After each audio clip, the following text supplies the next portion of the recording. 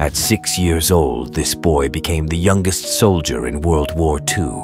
After his entire family is killed by soldiers in the war, he's left completely alone. He struggles to survive in the woods, eating leftover trash and foraging for food, and he nearly died. But what happened next shocked everyone. He was taken in by some soldiers and nursed back to health. They were going to give him to an orphanage, but everyone liked the kid and wanted him to stay. He wanted to be a real soldier, so they got him a kid-sized soldier uniform. He loved helping out, so he delivered letters and newspapers to the soldiers and helped bring them things they needed, even bullets and grenades. One day, while making his deliveries, he spots some legs in a haystack. He runs back to report what he saw and gets some of the soldiers to check it out. It turns out the men are spies and they catch them. Another time they were under attack and the phone lines were out, and miraculously the boy was able to find the cut wires and fix them himself. The young boy was awarded a medal for his bravery.